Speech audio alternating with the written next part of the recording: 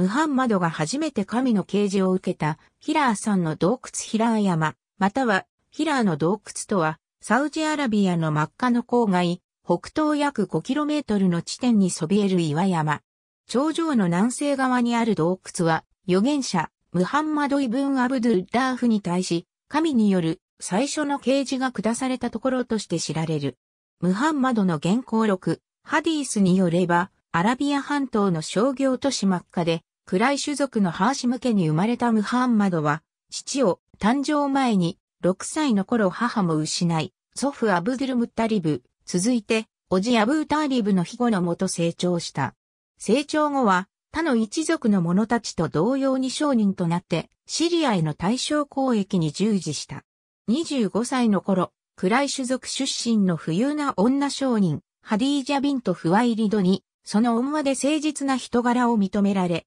15歳年長の未亡人であり彼の雇い主でもあった彼女と結婚した。ムハンマドはハディージャとの間に2に4条を設けたが、男子は二人とも要請したという。結婚後のムハンマドは真っ赤の商人として不自由のない生活を送り、暇があると真っ赤郊外のヒラー山に登り何日も洞窟にこもって瞑想した。ラマダーン月27日、40歳を超えたムハンマドが平山で瞑想にふけっていると、何者かによって体が締め付けられ、読めと命じられる体験をする。ムハンマドは読めないと三度答えるが、その度に体に天使が覆いかぶさり息苦しくなると話して読めと命じる。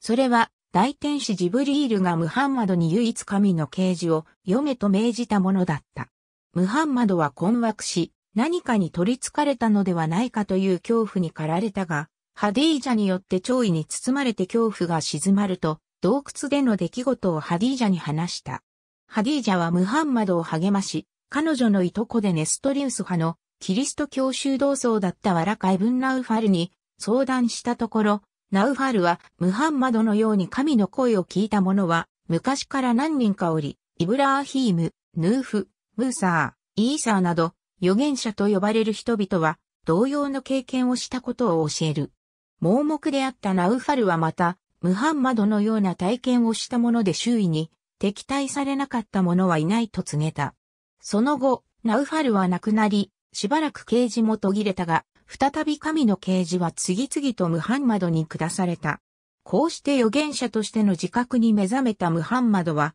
ハディージャやいとこのアリーブン・アビーターリブなど、近親の者たち、友人のアブーバクルなどに彼に下った刑事の教えを説いた。イスラーム教の始まりである。ムハンマドがヒラーの洞窟で初めて啓示を受けた夜のことをイスラーム教では力の夜と呼んでいる。クルアーンには力の夜は千月よりも勝ると記されている。啓示を受けた洞窟の岩盤にその旨が記載されている。また、ヒラー山はムスリムの巡礼者が競って訪れる場所であるが、山の入り口にはこの山は本来は神聖視されるべきものではないという断りが記されている。ありがとうございます。